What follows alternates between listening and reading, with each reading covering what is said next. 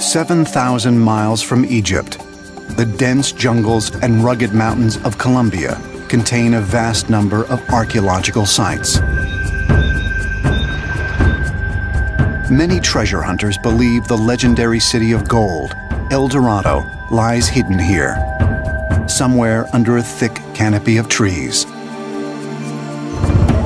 While the mythical metropolis has never been found, early in the 20th century, tomb robbers searching along the Magdalena River stumbled upon a gravesite dating back 1,500 years to a pre-Columbian civilization known as the Tolima.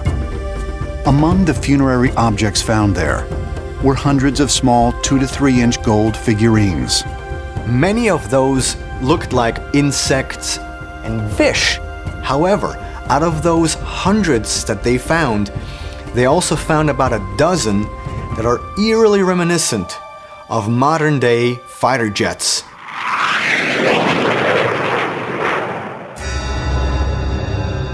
They have a triangular shape, they have an upright tail fin, stabilizers, and a fuselage. And they have nothing in common with anything similar in nature. Could these gold objects really be proof that Earth has been visited by ancient aliens? One of the objects shows uh, typical swept wings like with a, a, modern aircraft. And if you compare it uh, to something like a space shuttle, you see that the, the basic uh, wing shape is very similar uh, to wing shapes for uh, high speed aerodynamic bodies like a space shuttle is. There is not a single insect in the world which has got its wings at the bottom. Now, when you exclude the possibility that it's an insect, one of the things which remain is the fact that this is actually, yes, what it looks like a plane.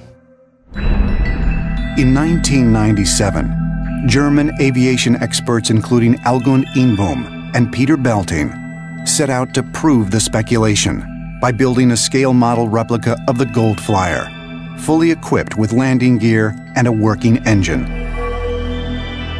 It was rather simple because we don't need to put much parts to this shape because this shape is perfect. Everything was already done by the native people 2000 years ago. They did not add an inch or remove an inch. They just essentially blew the little thing into a larger size. I mean, this is sensational that pre Columbian culture knew about aerodynamics. Once completed, the remote controlled flyer took off down a makeshift runway and flew.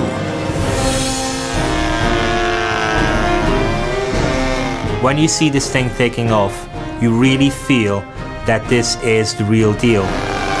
It was a very successful test and uh, showed us how perfect ancient people were working out aerodynamic design. What uh, shows you that there must be something happened. We are not quite sure how it did, but that it did. This is applied science. This isn't just thinking somewhere. This is people going out there and making sure and proving with eyes to see, anybody can see this, that this is real, this is genuine.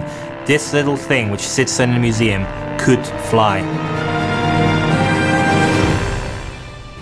So we have two examples from opposite side of the planet and both examples are aerodynamically sound and they fly. So to suggest that all of this is coincidence, I mean, after a while, even coincidence no longer makes sense. Could the ancients have seen actual entities like ancient gods, ancient astronauts actually flying around in what amounted to modern aircraft?